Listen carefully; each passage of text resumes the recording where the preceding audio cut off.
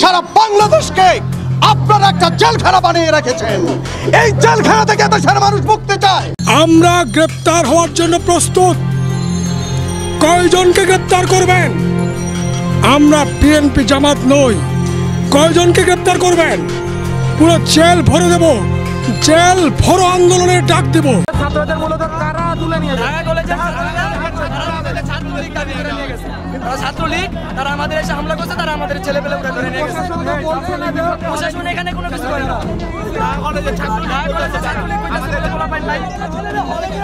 প্রথমে গালাগালি মানে করে ওরা দেখি ওরা তারা লাঠি নিয়ে আমাদের উপর হামলা করতে আসছে। আমাদের এখানে হামলা করার মানে গ্যাঞ্জাম করার জন্য আসি না আমরা নিজেদের অধিকার আদায়ের জন্য আসছি এখানে। এখন সবাই আমরা এক হয়ে আন্দোলন আমার দেশের ছাত্র ভাই ও বন্ধুরা, তারা মার খায়। স্বাধীনতার পূর্বেও মার খেয়েছে, দেশকে স্বাধীন করেছে, এখনও তারা পরে পরে মার খায়। বিশ্ববিদ্যালয়ের হলগুলোতে তারা মার খায়। বাসে বাসে শ্রমিক লীগ, ছাত্রলীগের কাছে তারা মার খায়। আমরা কি পরে পরে এভাবে মার খাওয়ার জন্য এই দেশকে স্বাধীন করেছি? আমরা কি এভাবে নির্যাতিত, নিপীড়িত হওয়ার জন্য এদেশকে স্বাধীন করেছি? করি নাই। সংগ্রামী উপস্থিতি এই দেশের স্বাধীনতার নেতৃত্ব দিয়েছিল এই দেশের বিশ্ববিদ্যালয়ের ছাত্ররা। কিন্তু অত্যন্ত দুঃখের বিষয়, আমরা লক্ষ্য করি যে বিশ্ববিদ্যালয়ের ছাত্ররা একটি স্বাধীন সার্বভৌম বাংলাদেশের নেতৃত্ব দিয়েছে সেই বিশ্ববিদ্যালয়ের হলগুলোতে আজকে বাক স্বাধীনতা নেই। সামান্য ক্রিকেট খেলা নিয়ে পোস্ট দিয়েছে। সেই পোস্টে লাভ রিয়েক্ট দেওয়ার কারণে ছাত্রলীগের নেতৃবৃন্দরা ক্ষমতার বড়াই দেখানোর জন্য, পেশি শক্তির বড়াই দেখানোর জন্য তাকে জুতা পেটা করেছে। ঢাকা বিশ্ববিদ্যালয়ের মতো বাংলাদেশের শ্রেষ্ঠ বিদ্যাপীঠে নারীদের হলে যখন খবর বেরায় যে সেখানে শিক্ষার্থীদেরকে ক্ষমতাসীন ছাত্র সংগঠনের নেত্রীরা অশ্লীল গান গেয়ে তাদেরকে নৃত্য করার জন্য বাধ্য করেছে তখন আমার দেশের ক্ষমতাসীন দলের নারী নেত্রীরা মাননীয় প্রধানমন্ত্রী যখন সারা বিশ্বের কাছে নারীর ক্ষমতায়নের কথা বলে তার সেই কথাগুলো আমাদের কাছে হেট হয়ে আসে। মাননীয় প্রধানমন্ত্রী আপনি আপনার ছাত্র সংগঠনের মেয়েদের দিকে আগে নজর দিন, তাদেরকে আগে নারীদেরকে সম্মান করতে শিখান। তারপরে আপনি দেশে বিদেশে গিয়ে নারীর ক্ষমতায়ন, নারীর সম্মানের কথা বলবেন।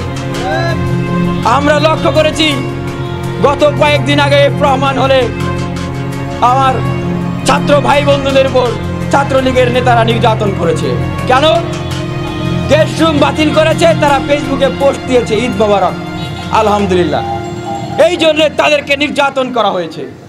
আমরা বলতে চাই যে এই স্বপ্ন নিয়ে এই বাংলাদেশকে স্বাধীন করেছিল, স্বাধীনতা যুদ্ধের নেতৃত্ব দিয়েছিল এই ছাত্ররা, সেই স্বপ্নকে এই ক্ষমতাসীন দল তারা ধুলিস্বাদ করেছে।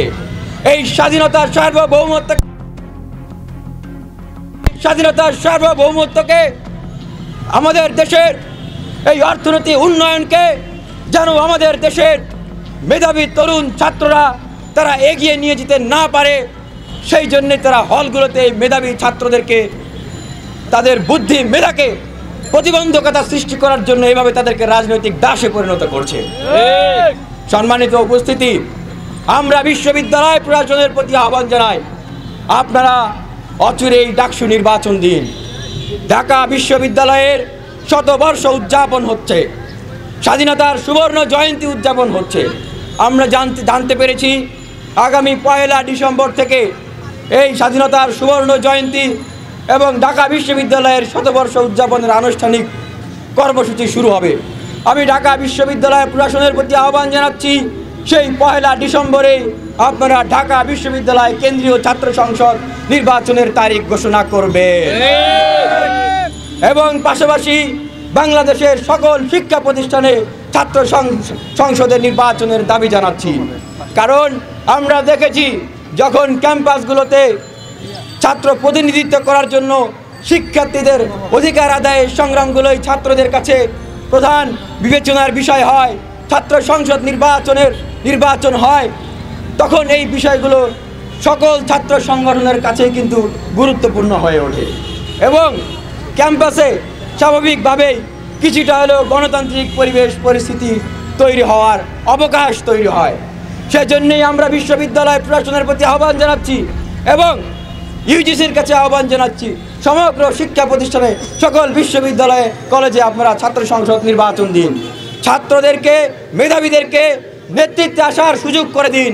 আগামীর বাংলাদেশে যেন এই তরুণ মেধাবীরা নেতৃত্ব দিতে পারে। সংগ্রামী উপস্থিতি, আমরা লক্ষ্য করছি যে এই যে বদরুন্নেসা কলেজে এখনও আমাদের শিক্ষার্থী বোনরা তারা আন্দোলন করছে। তাদের কথা হচ্ছে, তাদেরকে ধর্ষণের হুমকি দিয়েছে। আমরা কেমন দেশে বসবাস করছি, যেই দেশে বাসে হাফ বাস দিতে চাইলে ছাত্রদেরকে ঘাড় ধাক্কা দিয়ে বাস থেকে ফেলে দেওয়া হয়। আমরা কেমন সরকারের অধীনে এই দেশে বসবাস করছি? কেমন সড়ক পরিবহন ও সেতু মন্ত্রণালয়ের মন্ত্রীদের অধীনে এই দেশে বসবাস করছি? সড়কে যাতায়াত করছি? যে ছাত্ররা হাফ পা দিতে চাইলে তাদেরকে বাস থেকে টেনে নিয়ে, টেনে হিসড়ে তাদেরকে আঘাত করা হয়, তাদেরকে প্রহার করা হয়। আমাদের বোনদেরকে ধর্ষণের হুমকি পর্যন্ত দেওয়া হয়।